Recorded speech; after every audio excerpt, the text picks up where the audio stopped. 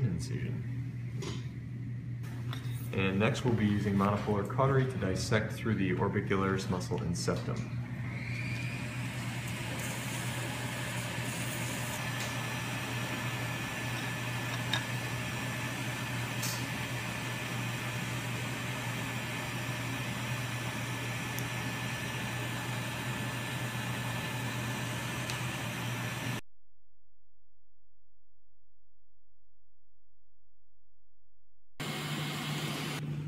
And now we will apply the clamp.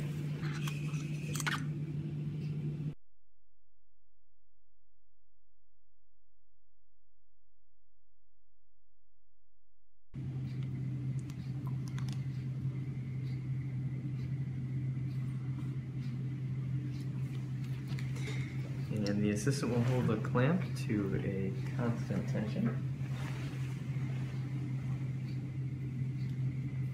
Now we mark the levator aponeurosis.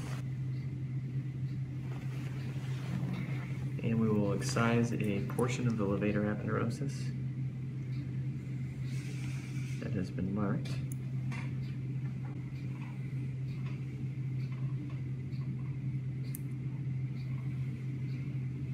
And here we clean the superior aspect of the tarsus.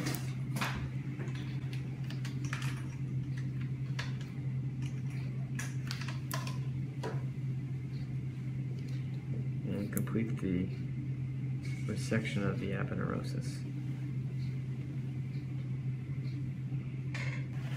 We'll remove the clamp and place Prolene sutures at the pre-marked section.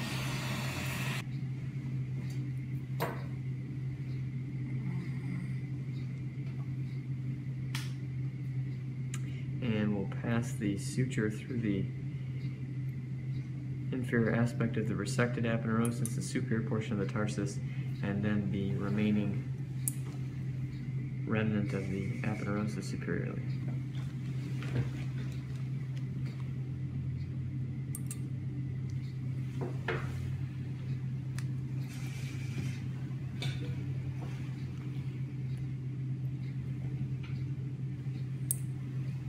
Pass one further suture, which will complete the suturing of the aponeurosis.